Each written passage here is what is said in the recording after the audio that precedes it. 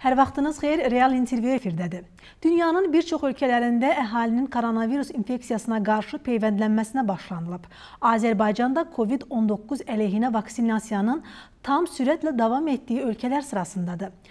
Statistikada təsdiqləyir ki, hətta peyvəndləmə səviyyəsinə görə MDB ölkələr arasında liderdir. Vaksinlə bağlı suallara studiyamızın qonağı Yeni Klinikanın reanimasiya şöbəsinin müdiri Emil Qasımovla birlikdə aydınlıq gətirməyə çalışacağıq. Xoş gördük Emil müəllim. Xoş gördük. İlk sualımız bundan ibarət olacaq. Vaksinlə bağlı vəziyyət necədir ölkədə? Ya bildiyimiz kimi Azərbaycan regionda vaksinasiyaya ilk başlayan ölkədir.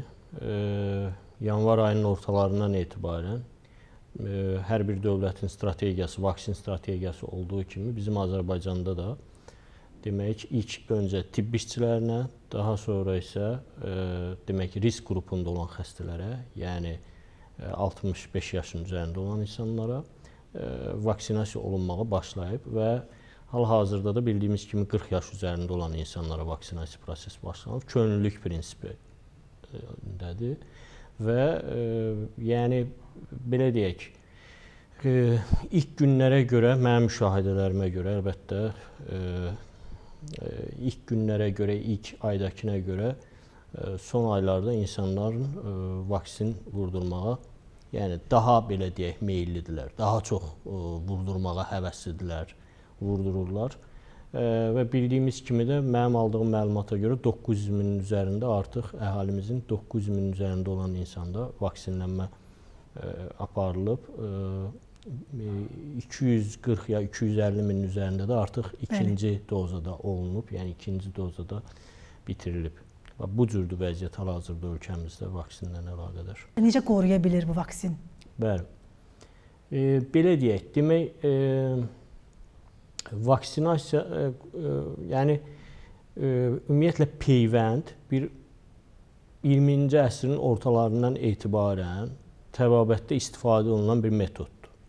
Və infeksion xəstəliklərin müalicəsində və profilaktikasında bəlkə də deyək ki, ən önəmli metoddur. Hətta tibbin əldə elədiyi e, zirvələrdən biridir. Bildiyimiz kimi bir çox xəstəliklər, məsələn, çiçək xəstəliyi vaksinin hesabına ümumiyyətlə e, bitirilib. Artıq bu xəstəliyə e, e, rast gəlinmir bəşəriyyətdə. Ona görə e, Bu da COVID də, yəni SARS-CoV-2 də üst tənəffüs yolu infeksiyası, alt tənəffüs yolu infeksiyası törədicisi olduğu üçün illərdir məsələn biz qrip peyvəndin istifadə eləyirik. Bu da o peyvəndlərdən biridir. Hətta e, belə deyək, bizim indiyə qədər Azərbaycanda istifadə etdiyimiz e, demək e, Sinovac vaksini e, ənənəvi metodlar əsasında, yəni köhnə texnologiya ilə hazırlanmış inaktiv peyvənd inaktiv peyvənd olduğu üçün bu peyvəndin e, fəsadları çox azdır, çox minimaldır və belə deyək, öldürücü bir e, mortal bir, e, yəni ağırlaşma demək olar ki, görülməyib, bildirilməyib ölkələr tərəfindən. Və bir çox ölkələrdə də bu vaksindən istifadə olunduğu bəllidir. E, yəni Sinovac'ın, Coronavac'ın bir ağırlaşması görülmür. Bilirsiniz, bir də say çox olduğu üçün, yəni çoxlu sayda məsələn 1 milyonda bir bir fəsad görülərsə, 2 milyard adam olarsa, bu çoxlu sayda insan eləyir fəsad. Yəni buna görə bu vaksindən çəkinmək, vaksini vurdurmamaq, onun fəsadlarından qorxmaq biraz absurd məsələdir. Yəni e, vaksin vurdurulması məsləhətli elə bir ciddi ağırlaşmaları yoxdur. Hal-hazırda e, dünyada bir e, 7-8 peyvənd istifadə olunur. Yəni önəmli cəmiyyətlərin, e, dərnəklərin və ümumi dünya səhiyyə təşkilatının e, onayı olduğu, demək 7-8 peyvənd istifadə olunur və bizim indiyə qədər ölkəmizdə istifadə etdiyimiz e, Sinovac peyvəndinin iki ölkədən gələn e, tədqiqatlara əsasən, yəni faz 3 çalışma, 3-cü faz tədqiqatlara əsasən verilən məlumatlar bu cürdür.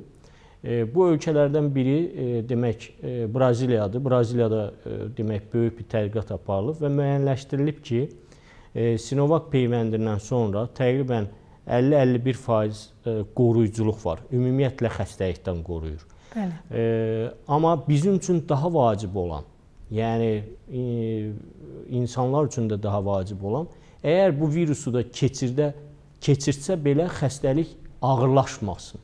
Yəni xəstəxanalıq olmasın, reanimasiyalıq olmasın. Burada qoruyuculuq Braziliyadan gələn məlumata görə 100%dir. Qonşu Türkiyədən Hacəttepe Universitetinin başçılığı ilə aparılan 3-cü faz çalışmada isə 83% qoruyuculuq var. Sinovac peyvəndindən sonra yəni xəstəlikdən qoruyur. Xəstəxanaya düşmə və ağırlaşmada isə eyni Braziliyadan gələn nəticə ilə eynidir. 100% qoruyuculuq var. Dolayısıyla bizim daha çox qorxduğumuz nədir? Bunu biz aydınlaşdırmalıyıq. Bir məsələ də var ki, peyvənd virusa yoluxmada qoruyucu biz ondan gözləntimiz olmamalıdır. Bizim gözləntimiz, bəkləntimiz olmalıdır ki, biz virusu keçirsək belə ağırlaşmayaq. Xəstəxana ehtiyacı olmasın, reanimasiya ehtiyacı olmasın, süni tənəffüs aparatı ehtiyacı olmasın, ağciyərlərin tutulumu çox fazla olmasın və beləcə də ölümü azaltmış olaq. Əgər bu dediklərimiz də olarsa, COVID artıq bizim üçün deyildiyi kimi qorxunc olmayacaq. Deyildiyi kimi yox, görüldüyü kimi, reallıqda olduğu kimi qorxuncluğunu itirəcək. Ona görə peyvənd çox vacib. Sinovac peyvəndinin də effektivliyi budur. Yəni xəstəxanaya e, gedişin demək olar ki, tam qoruyur. Yəni xəstəxana ehtiyacı demək olar ki, olmur. Aha. Ümumiyyətlə bəs əvvəlki dövrlərdə uşaqlara bilirsiniz ki, vaksin vurulurdu. Tədricən, yəni böyüdükcə onlar xəstəliyi yüngül keçirirdilər. İndi istifadə etdiyimiz peyvəndlə bağlı vəziyyət necədir? Yəni bu e, ümumiyyətlə e, belə deyək də, e, viruslara sinə gələ bilir, yoxsa bu sadəcə olaraq COVID-19 ilə bağlı olan xəstəlikləri aradan götürür? Belə deyək, COVID-19 üçün, yəni istifadə etdiyimiz bu peyvəndlər yalnız COVID-19 virusu üçündür. E, Ancaq bunun qoruyuculuğu nə qədər davam eləyəcək, indiki bunu hələ dəqiq bilmirik. Yəni e, dünya bilim otoritəsi bunu hələ tam bilmir. Bilmir ki, bunun qoruyuculuğu nə qədər çəkəcək. E, ola bilər ki, yəni vaxt irəlilədikcə e, bu təkrarlana bilər. Yəni e, peyvənd təkrarlana bilər. E, amma hələlik e, peyvəndin yaranmış o qoruyuculuğunun nə qədər müddət çəkəcəyi tam bəlli deyil. E, öncəki təcrübələrimizə görə, yəni başqa viruslarda, üst-tənəffüs yolu infeksiyalarında istifadə olunan peyvəndlərə görə düşünürük ki, təqribən 6 ay 1 il müddətində düşünülür ki, 6 ay 1, 1 il müddətində bu qoruyuculuğu saxlamış olacaq. Yəni bizi virusdan qorumuş olacaq. Bilirsiniz ki, koronavak vurdururlar. Həmin insanlar növbəti partiyada gələn peyvənddən istifadə edə bilər, yoxsa bu fərqli olmalıdır? Bəli. Demək, e, bildiyimiz kimi e, ölkəmizdə sabah və ya birisi gün 4 və ya ayın 5-də e, demək başqa bir peyvənd AstraZeneca Oxford peyvəndi gətirilir. Bu, yəni İngiltərədə və digər ölkələrdə istifadə olunan bir vaksindir və eləcə də irəliki günlərdə Rusiya istehsal olunan Sputnik V peyvəndinin gətirilməsi və bizə demək Covax tərəfindən söz verilən başqa digər aşılar BioNTech, Pfizer və ya Moderna peyvəndlərinin də gətirilməsi söz verilir və planlaşdırılır. Əlbəttə ki, bizim ölkə olaraq biz hamısını istəyirik ki, bütün peyvəndlər ölkəmizə gətirilsin və 8 milyon əhalinin hamısı peyvəndlənsin. 10 mil, yəni 8-10 milyon əhalimizin içində hamısı peyvəndlənsin. Belədir bu məsələdə biz eyni peyvəndin olunmağı məsləhətdir hər iki dozada. Hı -hı. Məsələn, birinci doza Coronavac, Sinovac peyvəndi istifadə olunubsa, 28 gün sonra yenə ikinci eyni demək partiyadan olan peyvənd olması məsləhətdir. Yalnız necə ola bilər? Məsəl üçün e, bir vətəndaşımız Rusiyada birinci peyvəndi vurdurub və ya başqa bir ölkədə, Ukraynada, çünki o ölkələrdə fərqli peyvəndlər olunur. Olunub e, və Azərbaycana gəlməli olub ki, o ikinci dozanın olunma müddəti Azərbaycan ərazisində olduğunda olur. Qaçırmamaq üçün, antikorun yaranması üçün başqa bir peyvənd vurulması mümkün ola bilər. Ancaq eyni ölkədə yaşayırsa və planlama da odur. Zaten ölkəmizin, yəni dövlətin strategiyamız da budur. Alınan peyvəndlər o cür hesablanıb birinci peyvənd hansı peyvənd vurulursa, ikinci peyvənddə eyni şirkətin peyvəndi vurulması planlaşdırılıb. Bir də bir məsələni də soruşam. İnsanlarda ən çox sual yaradan məsələlərdən biridir. Vaksin olunandan sonra birmənalı olaraq antitellər yarana bilər, yoxsa yaranmaya da bilər? Yəni bu insanları narahat edir bəzən. Demək bu antitellərlə bağlı, yəni belə deyək, bizim e, məsləhətləşmələrimizə görə Türkiyədə işte bizim əlaqələrimiz Türkiyə ilə çox yaxşı olduğu üçün və eləcə də İsraildən və ya başqa Rusiyadan, ölkələrdən mütəxəssislərlə apardığımız müzakirələrə görə bu antikor məsələsi biraz həqiqətən bizim ölkəmizdə biraz belə mod vəziyyətinə gəlib. Yəni hər kəs e, xəstəlik keçirən və peyvənd olunan antikorlarına baxdırır. Yəni bu əslində dünyada Ümumdünya Səhiyyə Təşkilatı tərəfindən e, və önəmli cəmiyyətlər tərəfindən məsləhət görülən bir üsul deyil ki, yəni e, antikorlarınızı yoxlatdırın. Nəyə görə? Çünki bunun elmi bir əsası da var. Düzdür, antikorların yaranması bizdə qoruyuculuğun olmağını göstərir. Ancaq bir tək bu humoral immunitetdir. Yəni antikorların olmağı humoral immunitet göstərir, amma isbatlanıb ki, hazırki yəni elmə əsasən, elmin gəldiyi qənaətə əsasən, e, burada önəmli olan hüce hüceyrə e, yəni immunitetin yaranmasıdır. Yəni T hüceyrələr dediyimiz hüceyrələrdə bir immunitetin yaranması və o laboratoriyada görülmür. Bu o deməkdir ki, bir insan peyvənd vurdurur və ya xəstələnir, natural olaraq xəstələnir və onda e, demək bu xəstəliyə qarşı immun bir artıq hazırlıq var. Antikorlara baxa bilərsən. Antikorlar neqativ ola bilər. Amma bu o demək deyil ki, sənin qoruyuculuğun yoxdur. Çünki virus orqanizmə daxil olanda əsasən bizim o T hüceyrələrdə hazırlıq olduğu üçün o antikorları o an hazırlayırlar. Yəni nəticə olaraq demək istədiyim odur ki, antikorların e, yaranması, pozitiv olması, yüksək miqdarda olması qoruyuculuğu göstərir. Amma e, göstərməməsi, yəni normal səviyyədən yuxarı Hı -hı. olmaması bu orqanizmdə virusa qarşı immunitetin olmadığını göstərmir, işarə vermir. Ola bilər ki, antikorlar normal səviyyədədir, yüksək səviyyədə deyil.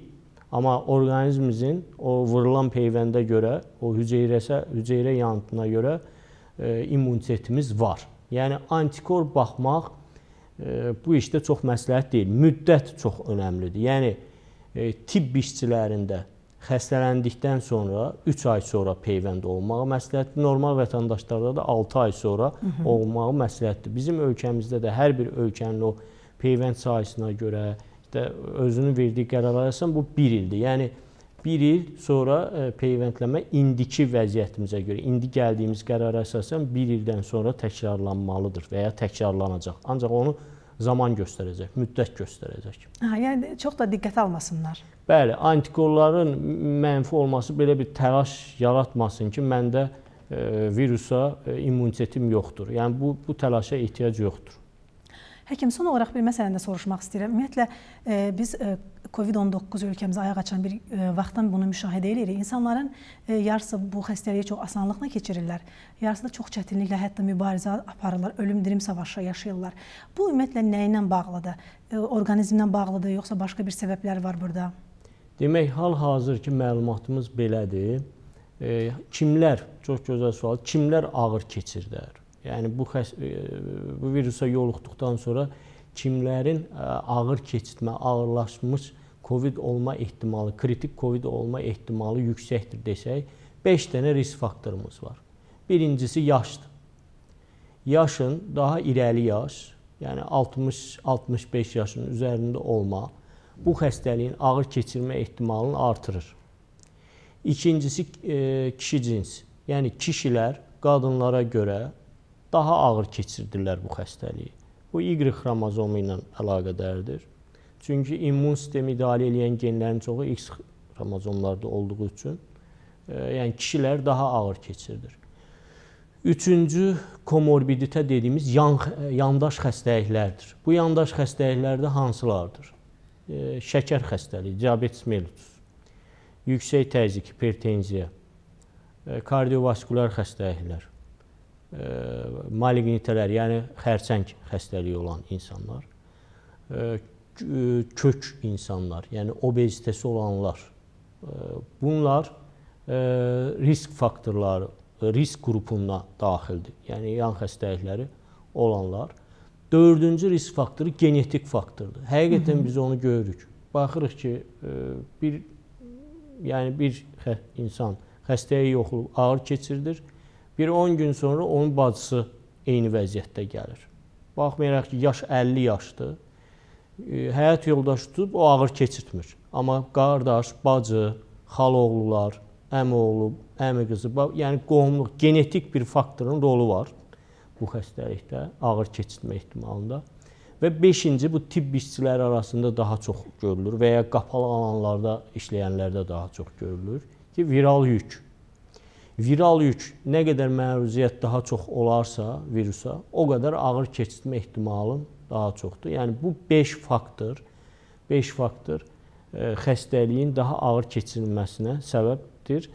Təbii ki, %100 deyil. Tibb elmi riyaziyyat elmi kimi 2 dəfə 2 4 olmadığı kimi %100 deyil. Bəzən baxırsan ki, yan yandaş xəstəliklər var, yaş 70 yaşdır, kişi cinsi də ancaq xəstəliyi çox yüngül keçirilir. Amma böyük çoğunluq bu risk faktorlarında bu dediyimiz faktorları da yəni rolu böyükdür. Yəni ağır keçirmək, ağır keçirən xəstələrdə. Yəni yaş faktoru o qədər də önəmli deyil. Mən belə başa düşdüm ki. Risk Çünki faktorudur, risk beynində... faktorudur. Yaşlı insanlar mesajımızı doğru verir. Özlərini qorumaq məcburiyyətindədirlər. Yəni artıq şablona çevrilmiş maskadır, məsafədir, qapalı sahələrdə, qapalı alanlarda yəni kontaktda çox olmamaqdır, uzun müddət kontaktda olmamaqdır, əli dezinfektanlarla yumaqdır. Yəni yaşlı insanlar özlərini qorumaq məsləhətdir. Hətta gənc insanlar belə öz valideynlərini qorumalıdırlar. Gənc insanlar yüngül keçirdə bilərlər bu xəstəliyi. Biz bunu çox görürük. İnsanlar, gənc insanlar təbii ki, işləyirlər, bu xəstəliyə yoluxurlar, gəlirlər evə, evdə böyüklərinə, yaxınlarına, daha yaşlı qohumlarına bu xəstəliyi keçirdirlər. Özləri yüngül keçirdirlər, özləri bu xəstəliyi bilmədən keçirdirlər. Ümumiyyətlə bu COVID bu mudur deyib keçirdilər, amma o yoluxdurduqları yaxınları xəstəxanaya gəlirlər. Reanimasiya ehtiyacı olur bu xəstələrin, əziyyət çəkirlər yəni biz həkimik, biz işimizi görürük. Ancaq əziyyət çəkən insanlardır. Biz də əziyyət çəkirik. Yəni tibb cəmiyyəsi də əziyyət çəkir 1 ildir. Ancaq ən böyük əziyyəti o xəstəliyə düçar olmuş xəstələr çəkir. Ona görə yaşlı insanlar özlərini qorusunlar. Bəs bu virus bu virusun mutasiyaya uğramasından bağlı nə deyə bilərsiniz? Virus təbii ki, RNA virus, RNT virusudur. RNT virusu ümumiyyətlə bütün RNT virusları mutasiyaya meyllidirlər. Yəni bunlar özlərində dəyişikliklər eləyirlər. Bu dəyişikliklər bəzən insan açısından baxanda, insan prizmasından baxanda müsbətə tərəf gedir, bəzən isə mənfiyə tərəf gedir. Hal-hazırda e, SARS-CoV-2-nin mutasiyası nəticəsində bildirilən daha belə populyar çoxlu mutasiyalar ola bilər. Ən Hı -hı. çox bildirilən 3 mutasiya bildirilir hal-hazırda. Biri British ştamıdır. B117 deyilən British ştamı, yəni İngiltərə ştamıdır. Digəri Cənubi Afrika ştamıdır. B1351 ştamı və dördüncüsü Braziliya ştamıdır. P1 ştamı. Bunlardan daha belə daha çox yayılan İngiltərə, Britaniya ştamıdır və bu Britaniya ştamında elə bir mutasiya yaranıb ki, bunun yoluxduruculuğu artıb, virulentliyi artıb. Yəni Yuhan variantı, Çin virusu ki, bizim indiyə qədər öyrəşdiyimiz bu e, tutalım deyirəm 3-4 xəstəni, 5 xəstəni bir xəstə yoluxdura bilirdisə, insanı yoluxdura bilirdisə, burada 70% bulaşdırıcılıq artıb İngiltərə ştamında. Daha çox insanı bulaşdırır. Təhlükəlidir əlbəttə. İndiki dövrdə ki biz buna 3-cü dalğa adlandırsaq, 3-cü çoxalma, sayda artma adlandırsaq, düşünürəm ki, bu ştamın və ya bu ştamların rolu olmuş ola bilər. Yəni İngiltərə, çünki ətraf bizim qonşu ölkələrdə, məsələn Türkiyədə aldığımız məlumatlara görə çox görülür bu ştam. Artıq çox görülməyə başlayıb. Yəni bulaşdırıcılıq artıb və bu mutantlarla bizim də qarşılaşma ehtimalımız çoxdur. Aha. Çox sağ olun studiyamıza gəldiniz, suallarımızı cavablandırdınız. Buyurun.